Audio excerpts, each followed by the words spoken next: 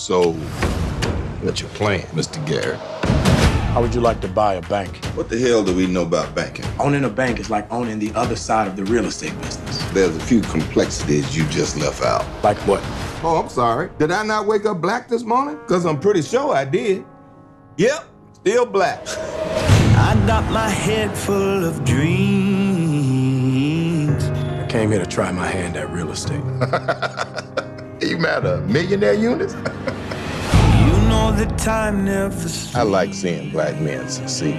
Sometimes I even invest some of my own money to back them. I know you're smart and ambitious. You and I both know that's not enough.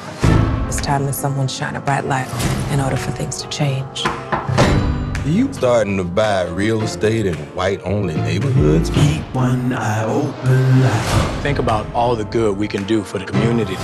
Taking it to the man. That's exactly what we're gonna do. And just how in the hell do you plan on pulling that off? We get Matt to front for us. You want me to what? Be us to the rest of the world. We can't set foot in the bank unless we the help. Should have took limo driver when you had the chance. I don't know anything about banking. I don't know how to buy a bank. We'll teach you everything you need to know. You gotta learn how to talk to rich white folks like you one of them. And you can't fake a golf game. Make me proud, son. The whole country's talking about how two Negroes managed to buy two banks full of white folks' money and loan it to other Negroes.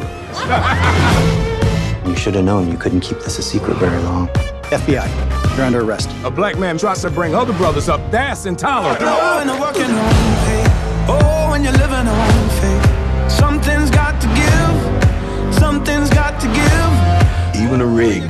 Rig fun to play, but uh, If this was easy, somebody else would have done it a long time ago. something's got to give. you're a revolutionary.